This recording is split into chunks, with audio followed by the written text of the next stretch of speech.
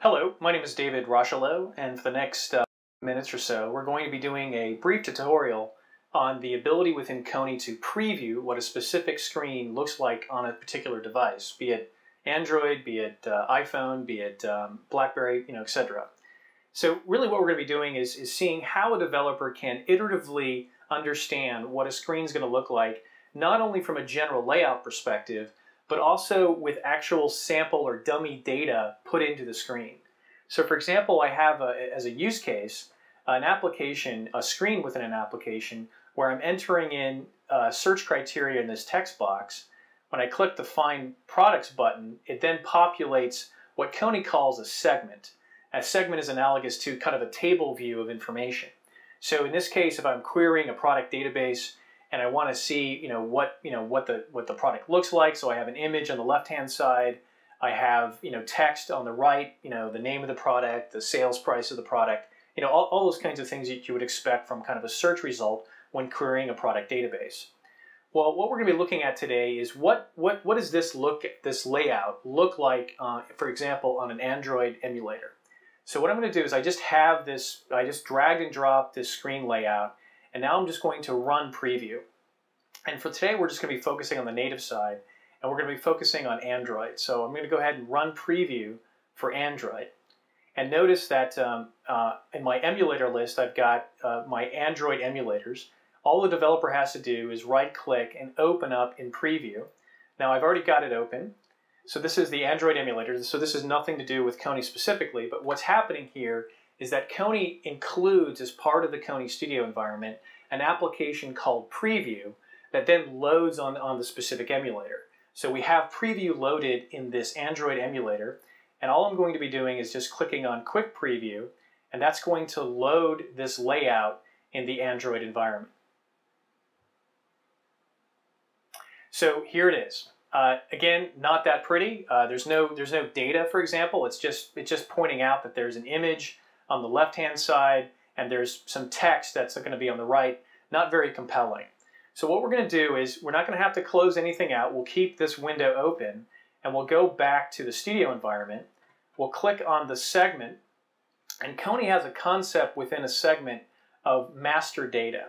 So what you're able to do is define, okay, I want to put in master data that is for preview mo mode only, meaning that whatever I put in here won't show up in the production app. It's really just there to help a developer, a, you know, user experience person, understand what does this screen look like with data.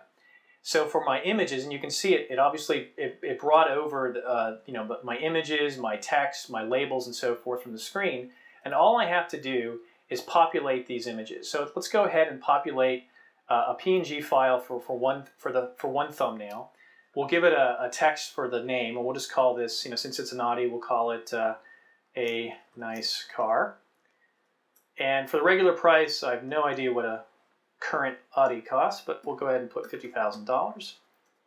For review rating, you know, we'll put uh, something like rating 4.2. And we also can put an image review. So this would show like how many stars. And, and these images that you see here, these are resource images that I have available in my resource for my project.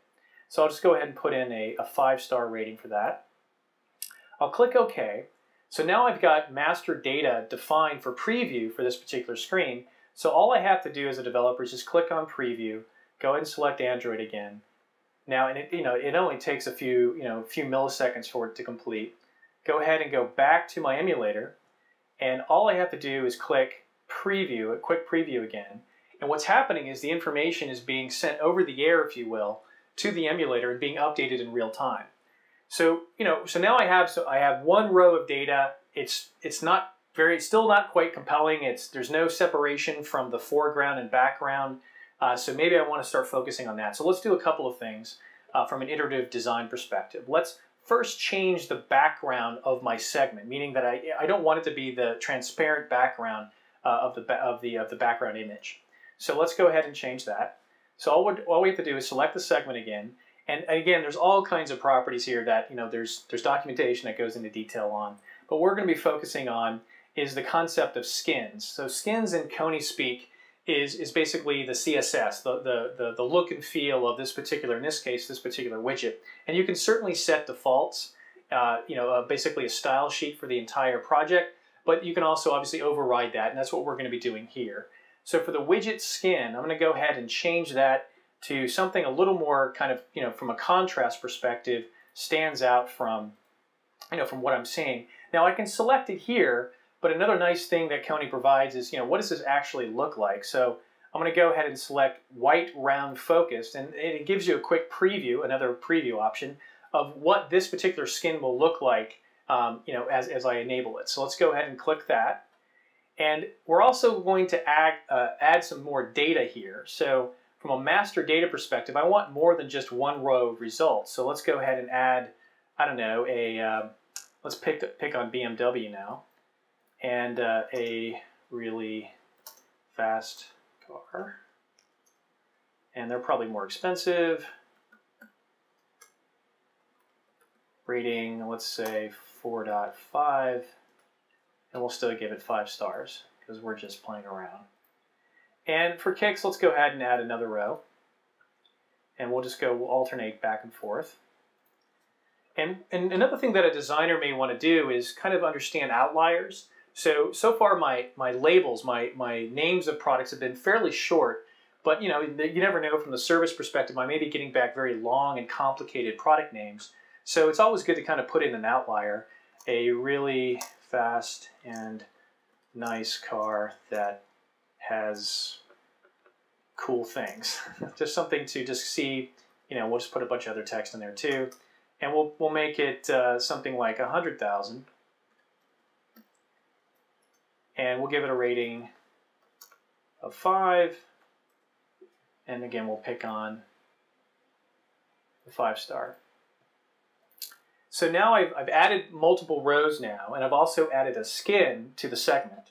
So let's go ahead and run preview again. Go back to this to the emulator. Click on menu. Refresh basically is what the quick uh, quick preview does. So it's getting an over-the-air update to this application. And now you can see there's there's some distinction now between the, the results that are being populated in the segment and the background. Now, something else that um, I may want to do, and, you know, say I, let, let's add a couple more rows of cars and, and maybe play around with some other rendering options. Again, just to kind of showcase the ability for a designer to iteratively change things on the fly. So let's go back to the studio environment. And in my segment, I want to add a couple more rows of data. And let's go ahead and just pick another BMW. Great car, and it's fast too and we'll go ahead and just put in some dummy data. Again, no, no points for being creative here. We'll, we'll give this a lesser rating, say 3.9. So we'll only give this a four star. And one more. Just to mix things up, we'll go ahead and pick another BMW.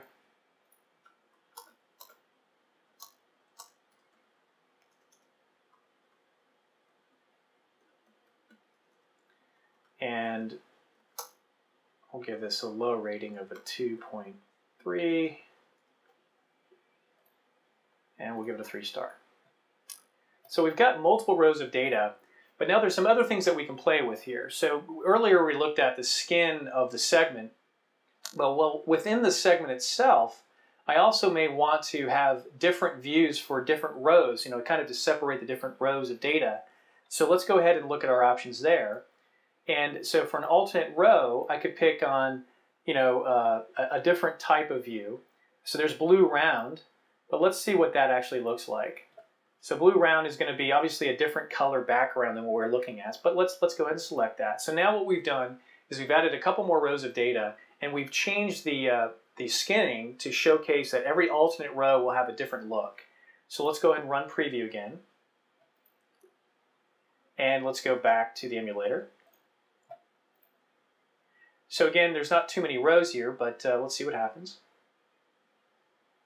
So again, you know, we're just showcasing the ability within the app to let a designer understand, you know, how, how does this actually look? Now, right away, I can see some problems. I have a static image from my star ratings. So if I did decide to make the, the alternate rows a different color, you know, it kind of doesn't look at all very nice. So these are the kind of things that would, would quickly come up uh, from a design perspective to let you understand, hey, we better not use that or we need to be a little more creative in certain areas. Now, some other more advanced kind of things that you can do with a segment in, in, you know, in conjunction with preview is that right now we have more or less a table view of the results. But Kony being Kony, we have all kinds of cool options here for how I want to display the data. So for example, as I scroll down, I can uh, change the view type of how the information is being displayed from a table view, and there's all kinds of options here. I can do cover flow, uh, you know, things that are, I'm not even really, you know, uh, uh, you know, familiar with, like an inverted rotate rotary view. But you can also do like things like a page view. So I'm just going to select that, and we can see what that's going to look like uh, in real time. So I ran preview again, went back to the emulator, click on uh, quick preview, and again getting the over-the-air update. So now, wait, wait, what happened? I only have one row, but again, I changed the, the view type to be a different kind of flow of how this information is going to be looking. And again, this is you know probably not the right use case for this kind of capability, but again, it lets a designer understand how this is going to look like uh, in the particular application. So, you know, if I really were to think about this, the best the best option for me is not to have that particular layout. So let's go back. We'll change it to the table view that we originally had. And we'll change those skins, the alternate row, we will, we'll disable that. We'll go ahead and go back to the uh, skin defaults. We'll click preview again, and generally speaking, from a design perspective, again, the value proposition of Kony obviously is this notion of writing once and running everywhere. But from a design perspective, typically what we see developers do is getting it, to, you know, get it looking right on one platform, and then you can start tweaking it to uh, to render the way you want it to on all these other platforms that we support. So there you have it. I, have I've got my search results uh, for my sample app. Um, I've changed, you know, some layouts. I've changed some backgrounds. I've added data and so forth. And I was able to do that literally in, in near time as I make changes in the studio environment, see how those changes are reflected in a, in a particular uh, emulator, in this case the Android. But again, as, as, as you may know, Kony certainly supports this kind of preview functionality in iPhone and BlackBerry and Windows Phone 7, 7.5, and 8 when it comes out. So again, this ability to see what this specific screen and this particular project looks like uh, on all these devices that we support. Thank you very much.